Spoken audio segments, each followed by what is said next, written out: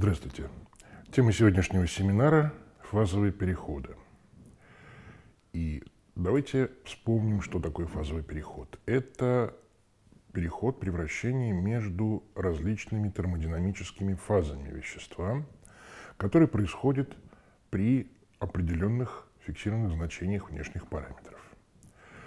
Он приводит к скачкообразному изменению свойств вещества при непрерывном изменении внешних параметров. Ну, под свойствами могут пониматься разные характеристики. А, и мы с вами привыкли к фазовым переходам первого рода, когда изменяется, например, теплоемкость при а, изменении температуры или плотность. Эти параметры в фазовых переходах первого рода меняются скачком. А при этом выделяется или поглощается некоторое фиксированное количество теплоты, скрытая теплота фазового перехода. А если говорить про фазовые переходы не первого рода, а второго, то э, в этом случае скрытая теплота отсутствует, но скачком меняются производные, а не сами функции. То есть зависимость теплоемкости, например, поменялась бы. Ну, фазовые переходы второго рода происходят в таких более сложных системах, и о них сейчас разговора пока нет. Давайте посмотрим на диаграмму состояния. Что это такое? Это некоторый график, который на осях давления и температура показывает, в каком состоянии, в какой термодинамической фазе находится вещество. Термодинамическая фаза – это состояние, характеризующееся определенным набором макропараметров. И в этом случае голубеньким цветом отмечена область, соответствующая твердому телу. Красная область – это жидкость. Под веточкой, отделяющей красную область от желтой, находится пар. Ну, а вообще желтая область – это газ. То есть пар – это газ, который изотермическим сжатием можно превратить в жидкость. Оранжевая область, пунктиром отделенная от газа, это так называемая сверхкритическая область, область сверхкритической жидкости, сверхкритического флюида по-разному называют. И, собственно, точка, которой оканчивается вот эта ветка, это критическая точка вещества.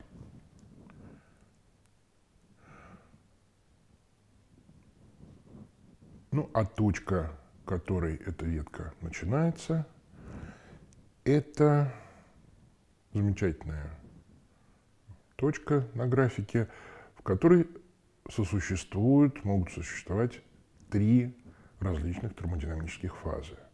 На границе раздела сосуществуют две термодинамических фазы, а вот в такой точке ветвления, в тройной точке, могут встретиться сразу три фазы.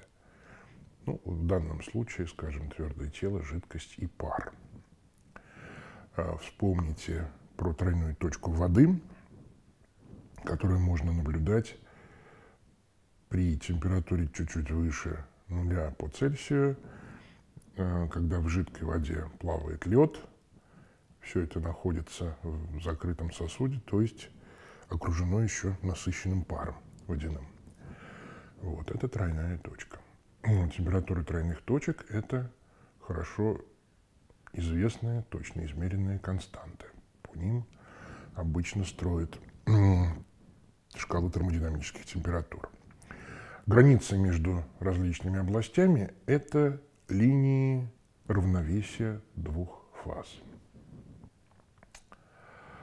А, да, вот э, область э, пара сверху ограничена э, не, не просто линией равновесия двух фаз, а еще и графиком зависимости нас, давления насыщенного пара от температуры. Давайте посмотрим и вспомним, посмотрим на э, эту диаграмму и вспомним основные фазовые переходы. Из твердого тела в жидкость это переход плавления, обратный переход кристаллизация. Из жидкости в газ кипение, обратный конденсация. Из твердого тела в газ сублимация и обратный, ну, тоже можно назвать конденсацией. И можно выделить три участка линии равновесия фаз. Это линия плавления и кристаллизации между твердым телом и жидкостью, линия испарения и конденсации между жидкостью и газом и линия возгонки, собственно, как по-другому называется сублимация, между твердым телом и газом. Замечание по поводу отличия испарения от кипения. Испарение происходит со свободной поверхности жидкости. И происходит оно при любой температуре, между, если температура лежит между тройной точкой и критической. В любом случае испарение может быть. Ну и испарение – это состояние такое неравновесное, когда молекулы вещества покидают жидкую фазу и переходят в газообразную.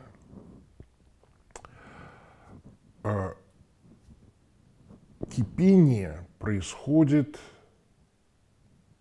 по всему объему жидкости. То есть в любой точке объема может образоваться пузырек пара, и этот пузырек за счет действия силы Архимеда всплывает и выбрасывает свое содержимое в газовую фазу. Но образование пара может происходить уже не только на поверхности. Это явление уже должно происходить при строго определенной температуре. В этом случае нам необходимо, чтобы внутри жидкости пузырек пара не схлопнулся.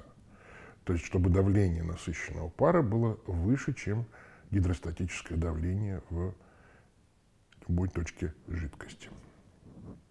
Поэтому температура кипения определяется, собственно, зависимостью давления насыщенного пара от температуры.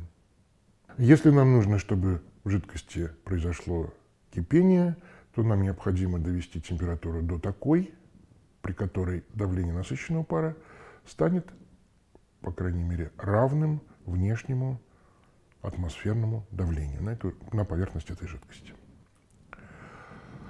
Возгонка или сублимация – это переход из твердого тела в пар, минуя жидкое состояние. Классический пример – это сушка белья постиранного зимой, когда а, вода замерзает, превращается в лед, и тем не менее этот лед потихонечку куда-то исчезает. При температурах ниже тройной точки такая сублимация действительно возможна, то есть переход из твердой фазы непосредственно в парообразную. А, ну, как я уже сказал, обратный процесс тоже обычно называется конденсацией. И вблизи тройной точки теплота сублимации, удельная теплота, а, скрытая а, фазового перехода, равна сумме теплот плавления и испарения ну, чтобы закон сохранения энергии продолжал работать. Почему вдали от тройной точки это может не соблюдаться? Ну, потому что вблизи тройной точки плавление и испарение происходят при похожих условиях. Точки плавления и точки испарения будут недалеко находиться, скажем, на изобаре друг от друга.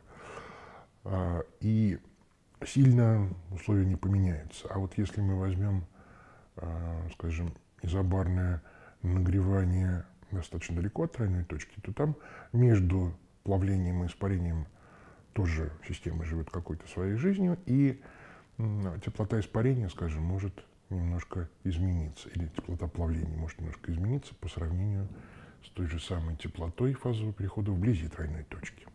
Отдельный вид сублимации, в отдельный вид сублимации выделяют абляцию, то есть сильно неравновесную сублимацию.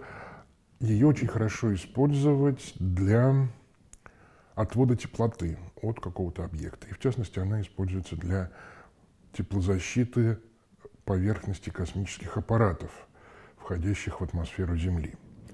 Они покрываются специальным покрытием, специальными плитками или специальным, э, таким, специальной массой, которая, собственно, и сублимирует при нагревании поверхности аппарата и тем самым охлаждает ее достаточно эффективно. Так что внутри аппарата сохраняется температура, приемлемая, скажем, для жизнедеятельности живых организмов.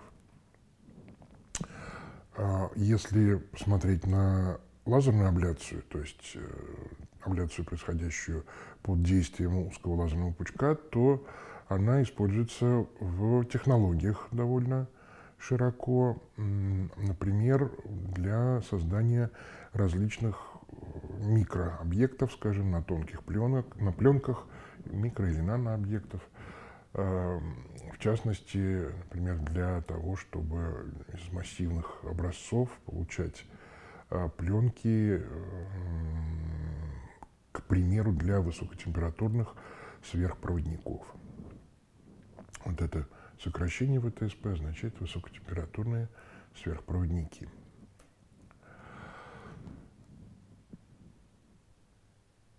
Связь с энтальпией довольно простая, поскольку фазовый переход происходит с веществом на границе двух термодинамических фаз, то есть температура системы при этом не изменяется, давление не изменяется, но либо подводится, либо отводится теплота. Тогда для энтальпии системы можно записать вспомнив вот это выражение, а, такую формулу изменения энтальпии элементарно равно а, ТДС, где ДС – это превращение энтропии. И поскольку температура константа, то можно от бесконечно малых величин перейти к конечным разностям, конечным превращениям и получить произведение температуры фазового перехода на изменение энтропии системы, то есть некоторое количество теплоты. Энтальпия системы изменяется на величину, равную скрытой теплоте фазового перехода. То есть скрытая теплота фазового перехода равна разности энтальпий двух термодинамических фаз, переходящих друг в друга. Давайте получим выражение для малярной теплоты парообразования в модели газа Вандервальса. Учтем, что процесс фазового перехода изобарный, тогда проще всего посчитать это через энтальпию, то есть через сумму изменения внутренней энергии и произведения давления на объем. Изменение этой величины – это дельта У плюс P дельта В, ну, поскольку давление постоянно. И тогда для одного моля газа Вандервальса вспомним выражение для внутренней энергии. Вспомним ее производную по объему. И поймем, что часть энергии тратится на то, чтобы преодолеть силы притяжения – молекул друг к другу, некая внутренняя такая часть. А другая часть э, тратится на движение стенки, которая ограничивает газ, то есть на расширение газа. И, собственно, та энергия, которая идет на преодоление молекул, э, притяжение молекул, простите, это и есть изменение внутренней энергии. Тогда его можно записать вот таким образом. и, посчитав, получить величину большую нуля. Почему эта величина больше нуля? Потому что, если говорить про э, малярные величины, малярный объем газа больше, чем малярный объем жидкости. Следовательно, вторая дробь меньше, чем первая, но и эта работа всегда больше нуля. Та часть энергии, которая тратится на притяжение, на преодоление притяжения молекул друг к другу, положительна. Та часть энергии, которая тратится на расширение, это классическая наша работа газа. При постоянном давлении записывается тоже очень просто, она тоже положительная. И полная энергия, необходимая для перевода газа Вандервальса из жидкого состояния в газообразное, рассчитывается как сумма этих двух энергий. Ну и приближенно можно записать э, следующее равенство, потому что малярный объем жидкости много меньше, чем малярный объем газа, и поэтому в скобках первое выражение гораздо больше второго, а вне скобок вторая дробь гораздо меньше первой. Ну и получаем вот такое приближенное выражение. Если сравнить, например, для воды, при ее кипении, при нормальных условиях, то есть, простите, не нормальных условиях, а нормальном атмосферном давлении, кипение происходит при 100 градусах Цельсия, плотность воды в этом случае известна, пара тоже можно рассчитать, и известна малярная теплота кипения. Вопрос – какая из энергий больше? Та, которая идет на преодоление притяжения молекул, или та, которая идет на совершение работы, на расширение водяного пара? Давайте сравним. Для этого воспользуемся выражением из предыдущей задачи и проанализируем. Работа, связанная с расширением, рассчитывается из произведения давления на разность объемов. Ну, а малярный объем можно выразить следующим образом. А, через плотность. Поскольку величины для плотности известны, давление также понятно, это давление 10 в 5 паскаль, и малярной массы воды, также хорошо известная константа, то мы можем подставить сюда все эти данные и получить величину примерно 3 килоджоуля на моль. А общая теплота 40 с лишним килоджоуль на моль. То есть получается, что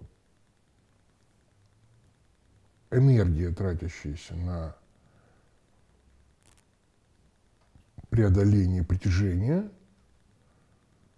гораздо больше, чем энергия, которая идет на совершение работы и на расширение водяного пара. Больше, чем в 10 раз. Еще одним из интересным соотношением, описывающим поведение вещества при фазовом переходе является уравнение Клапиерона Клаусиуса. Оно связывает скрытую теплоту фазового перехода из какой-то фазы И в фазу G с изменением плотности этой фазы, если известна температура перехода. Если записать это уравнение через малярную теплоту и малярные объемы фаз, оно будет выглядеть следующим образом. dp по dt равно скрытой теплоте перехода малярной разделить на температуру и разность малярных объемов. Можно все то же самое записать через удельную теплоту и, соответственно, удельные объемы фаз. Удельный объем – это объем единицы массы, то есть величина обратной плотности. Тогда в правой части будет стоять отношение удельной теплоты к температуре и разности удельных объемов. Для любой точки линии равновесия фаз это соотношение выполняется. обратите внимание, если вглядеться в правую часть, то там можно выделить вот такое вот соотношение а, типа малярная теплота делить на температуру, ну и умножить на количество вещества, скажем, да? А, или массу умножить на удельную теплоту, разделить на температуру. Э, что в числителе? В числителе некоторая полная теплота, да, либо количество вещества умножить на малярную теплоту, либо массу умножить на удельную теплоту, деленный на температуру. Теплота делить на температуру. То есть это изменение энтропии системы. Наклон ли, линии фазового перехода на э, фазовой диаграмме напрямую указывает нам, какая из фаз будет более плотной. Если линия как бы поднимается, если у нее положительный наклон, если давление растет с ростом температуры, тогда при увеличении температуры вещество переходит в менее плотную фазу, то есть происходит расширение после фазового перехода. Плотность вещества уменьшается с э, ростом температуры после фазового перехода. И наоборот. То есть можно сказать, что более плотная фаза да, подминает под себя менее плотную. Вот, визуально можно определить по фазовой диаграмме соотношение между плотностями соседствующих фаз. И по отношению к э, таким диаграммам, к такой вот э, точке фазового перехода, к изменению плотности, можно выделить два семейства веществ.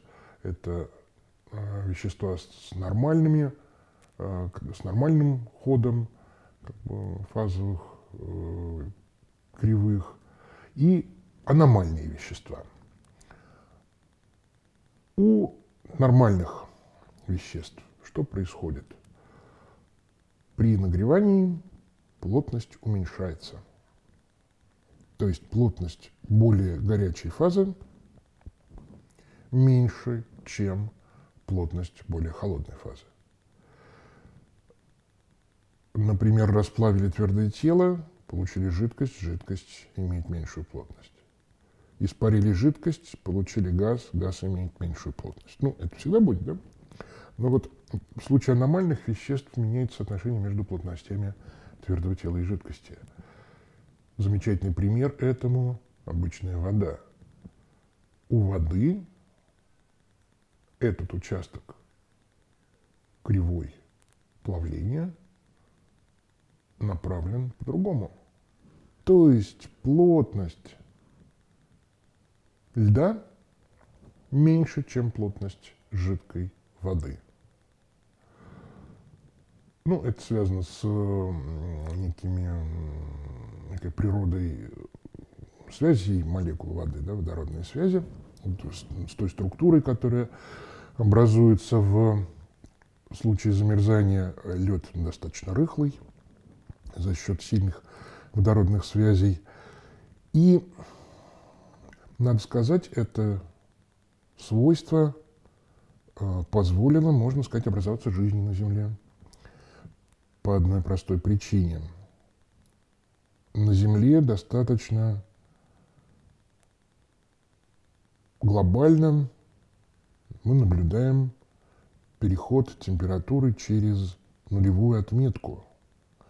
То есть Водоемы на Земле периодически замерзают, ну, периодически оттаивают. И если бы не было вот этих аномальных свойств воды, то тогда лед тонул бы при замерзании любого водоема, в отличие от той ситуации, которая есть сейчас, когда лед образует корку наверху. И какую же функцию играет эта корка? Играет ледяной покров на поверхности жидкости. Это теплоизолятор. Это не позволяет быстро промерзать водоему до дна. Кроме того, у жидкости, у, точнее, не, не просто жидкости, у воды есть еще одна особенность. Максимальная плотность достигается при температуре около 4 градусов Цельсия. А это значит, что вода, охлажденная уже там, например, до 3,5 градусов Цельсия, начнет всплывать. То есть самые нижние слои воды там, в стоячем водоеме образованы водой при 4 градусах Цельсия, которая ну, явно замерзать еще не собирается. Сверху еще образуется корка льда, через которую потери тепла уменьшаются. И в итоге мы что имеем? Что многие водоемы до дна не промерзают за зиму. А это значит, что когда-то давным-давно в таких условиях э, организмы простейшие могли выжить в жидкой воде, ну, потому что, понятно, замерзание живой клетки, скорее всего, повредит ее клеточную оболочку и убьет ее. Вот. Такое интересное свойство воды, можно сказать, жизненно необходимое нам. Ну вот фазовая диаграмма воды, пожалуйста. Точнее, это не вся фазовая диаграмма, конечно, это фрагмент фазовой диаграммы. А, тройная точка наблюдается при одной сотой градусов Цельсия. Критическая точка – это 374 градуса Цельсия. Но обратите внимание, это 218 атмосфер. То есть в этих пределах может существовать пар, и значит может существовать жидкая вода. Потому что то, что выше 374 градусов Цельсия и 218 атмосфер, жидкостью назвать уже нельзя. Это может быть сверхкритический, сверхкритическое состояние, сверхкритический флюид, но уже не вода в нашем понимании. И ниже тройной точки по температуре мы видим лед. Вот эти переходы фазы ну, вот вблизи вот этой тройной точки, это то, что мы можем наблюдать при условиях, близких к обычным, а, можно сказать, человеческим, то есть тем, в которых привык жить человек. Хотя фазовая диаграмма воды гораздо богаче. Обратите внимание на более развернутую, более полную фазовую диаграмму воды. Мы видим очень много кривых разделов фаз. Что же это такое? Жидкая вода обозначена здесь таким же желтым цветом. Пар совсем светлый, практически белый. А все остальные оттенки синего – это твердые фазы воды. То есть это различные виды льда. Причем эти виды льда могут существовать при очень экзотических условиях. Есть лед, который образуется при давлении только в тысячи миллионы атмосфер. Есть лед, который существует при температурах выше 500, 600, 700 Кельвин. То есть очень плотный, очень горячий лед. Ну, конечно, такие состояния весьма непривычны. А вот вблизи э, таких самых интересных, пожалуй, фаз э, увеличенный кусочек фазовой диаграммы. Но подчеркиваю, что здесь фаза-то интересная, но все равно для нас это слишком высокая плотность, э, поскольку эти фазы существуют при давлении примерно там 200-600 мегапаскаль. Напоминаю, что одна атмосфера – это одна десятая мегапаскаля. Вот такие виды льда могут быть при таких условиях. Ну, вообще, вот я из Википедии выписал различные модификации льда, их классификацию, с указанием их кристаллической структуры. Как видите, она самая разная. Переход из одной фазы в другую сопровождается изменением кристаллической структуры и некоторой теплотой скрытой фазового перехода. То есть это все переходы первого рода. Но все они происходят между твердыми термодинамическими фазами. Э, это не уникальность воды у многих веществ. Есть несколько, например, твердых фаз. Вот здесь приведены фрагменты фазовых диаграмм углерода и серы. Вы видите, что, скажем, у углерода есть линия фазового перехода графит-алмаз. А, ну, у серы, соответственно, а, ромбическая моноклинная серы. Это тоже, тоже вещества с разной кристаллической структурой. И переход между ними тоже сопровождается некоторой теплотой скрытой фазового перехода. Давайте попробуем оценить, насколько понизится температура плавления льда, если на лед встанет человек на коньках. Оценим массу человека в 60 килограммов, площадь соприкосновения конька со льдом 6 квадратных сантиметров. Ну, наверное, это такой тупой конек – если конек хорошо заточить, то он будет соприкасаться только кромкой, и площадь соприкосновения, конечно же, понизится. Э, известны удельные объемы воды и льда и удельная теплота его плавления. По уравнению Клапейрона Клаузиуса мы можем записать следующее выражение. Дельта P делить на дельта T приблизительно равно удельной теплоте плавления делить на температуру плавления и разность удельных объемов. Почему приближенное равенство? Потому что не бесконечно малая величина, не производная в левой части, а конечное превращение. Понятно, что уравнение Клапейрона Клаузиуса записано для производной, и это равенство будет действительно уже приблизительным. Но степень приближения довольно хорошая, поскольку теплота плавления, удельная теплота плавления льда при таком изменении давления меняется не сильно. Отсюда выражаем дельта Т. И связав его с весом человека на коньках, то есть дельта П это как раз изменение давления, связанное с добавочным весом, подставив сюда данные из условий задачи, получим 7 сотых Кельвина.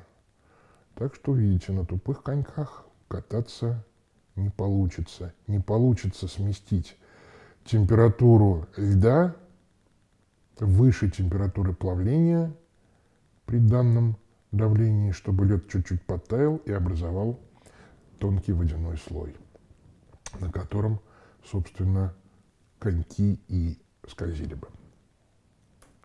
Ну и последняя задача. Давайте найдем зависимость давления насыщенного пара от температуры для некоторого произвольного вещества.